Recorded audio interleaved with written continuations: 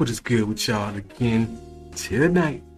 This is your boy Top Dott Man, and I'm back with another Dott View. Uh, I'm gonna go ahead and chicken chicken doing on the thing relationships tonight. You know what I'm saying? Uh, reason I want to say this because everybody got their own little way on how they do their relationships and how they into it and how they in tune with their people and all that. But every relationship ain't the same. Everybody ain't the same. So it's a different flow when it comes to you being matched with somebody else. You understand me? Follow me now. Um, how, how I view it is, instead of using the quintessential rules of whatever, you should go along and read somebody's energy, read somebody's aura, read somebody's body language. Um, words mean something sometimes, but most times you can cover up words um, and true intentions with just words. When you show the actions, actions prove a lot. Also, your energy proves a lot too, because you can't change your energy no matter what you do. Everybody has energy and they keep energy. So your energy won't change. It'll it'll probably switch feelings or switch intensity, but you always gonna have that energy until you're gone. You know what I'm saying? Then you got spiritual energy and all that. But as far as relationship wise, when you're going off somebody's energy, it's really you getting a good feel of them and a good feel of what can basically make your situation and their situation better. Some people don't don't get me wrong. Some people go into all these other things and in relationships and everything and situations because it's different types of situations people get into. But they get into them and they basically go for the gusto and say, yo, I don't care who get hurt in this thing, I'm just gonna do me. And that's about it. But then you have to jump back and think, are you that type of person? So you gotta either adjust your energy, turn it down a little bit, or turn it up a little more, you know what I'm saying? Or balance it out just enough. Because these the quintessential rules of relationships is wow. I don't mean the rules like don't cheat, none of that, dog. That's all set in stone. You just shouldn't do that anyway. But if you're polyamorous and all that other stuff, and you, you know, if that's how you in agreement with your people, then you know what I'm saying, go ahead. But I know most relationships is really one on one. So get matching energies. You know what I'm saying? Don't go out here and use the quintessential rules of relationship because as you can see, that's not working. And especially nowadays, these little young kids is on the run, ripping and running. They living free, so they ain't trying to be locked down. And a little bit of the older G's, um, that's around my age, are starting to slip into that same mind state too, because they like, well, man, it's it's hot out here. You know what I'm saying? Not as in hot like trouble type hot, but it's it's hot out here as in it's it's popping. You know what I'm saying? It's hot out here. It's it's on deck. It's jumping right now. You know, so they want to get out here and have a little fun. Plus, don't nobody want to feel old and unwanted and unused because that's basically how society kind of treat elderly people. They kind of pick them up, put them to the side, and hide them off somewhere. You know what I'm saying? Like them ain't like they they aren't the architects of what we doing and how we doing it right now. So I respect all my old, old OGs. You know what I'm saying? Basically, who done paid away for me and all my people to do what we doing. But they taught me when you get with somebody, don't get with them because of looks. Don't get with them because of intimacy.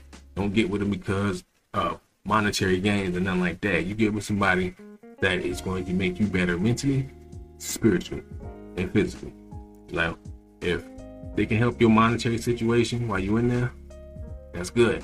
You know what I'm saying? Don't go in there dependent on that because you a grown man or a grown woman, so you can make your own money. Um, also, don't be going into relationships to just emotionally play with nobody because that can get you killed. And we done seen a lot of situations where people then got slung for playing with people's feelings. And a few friends of close friends of mine then got took out the game and stuff like that. So, you know what I'm saying? Don't go and play with nobody emotionally. Um, and if you just going in there just to have sex, bro, you could just be single. you ain't you ain't gotta go into a relationship, tear nobody head off just to have sex, man. You could just be single and it's all kind of uh, dating sites and instant have sex with me sites on here. So yeah, you you can do that if you want to, but I don't suggest you try to hop into a relationship and do it because yeah, a relationship based off sex is just not gonna work out. If it's just based off that, then you can do that with damn near anybody, and you don't have to stay with the same person. So, you know, you know what I'm saying. But then the other quintessential parts is you have to schedule certain things and, and times and places and all that good. No, no, just go with the flow of things. Just go with the vibe and ride with it. You know, sometimes you don't have to. You don't have to plan everything. Some things can be spontaneous spontaneousness actually brings excitement and freshness to your relationship, or in my opinion, to do. I don't know about everybody else, but when you can keep things live and vibing, then you don't have to worry about stuff getting flat to where your partner or you is going out to look for somebody else because you're just not popping no more. Um, but sometimes the, the, quintessential relationship is not the same as it used to be back in the 60s or the 50s or the 70s or the 80s. No, it's changed. It's changed a lot because through time, people have um, adjusted, and people are more people are coming out and are proud of their sexuality. So you got a lot of more, you got a lot more people that um, identify as pansexuals and um, bisexual, and some people even um, identify as uh, eco sexual. It is. It's there's actually people that are ecosexual, which means they have sex with Earth. Yes, literally, no lie. You can look it up. Matter of fact, yeah, you can look it up. Just look it up if you think I'm playing.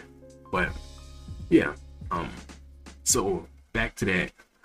Just using all of the quintessence or using some of the other side of the spectrum when it comes to the quintessentiality of a relationship is just basically if if you can go with all them other things that I, I mentioned that not to go with, go with them. If you can make them work out some way somehow, do that.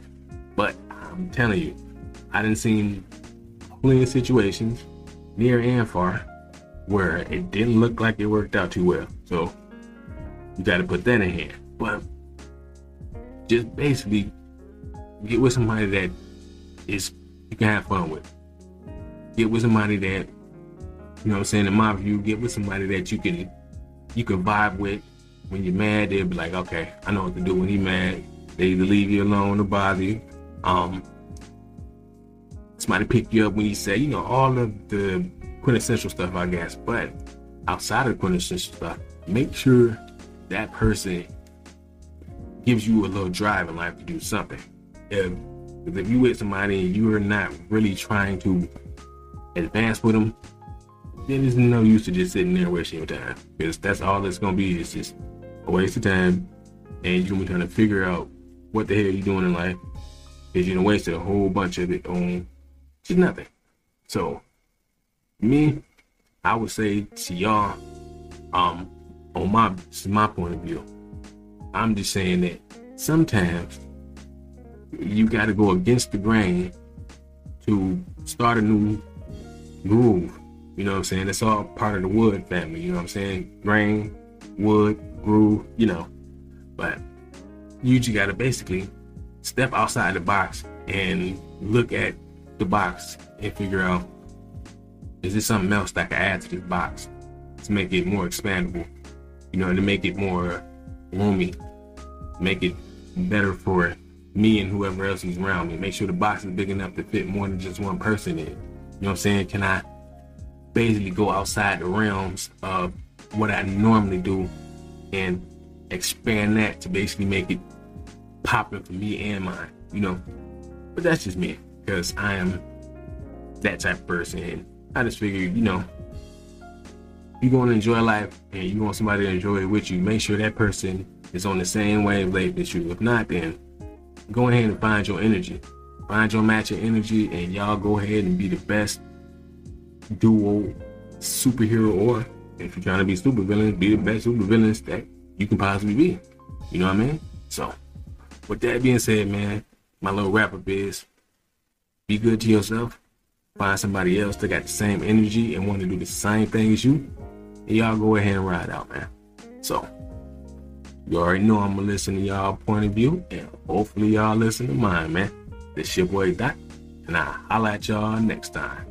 Deuces.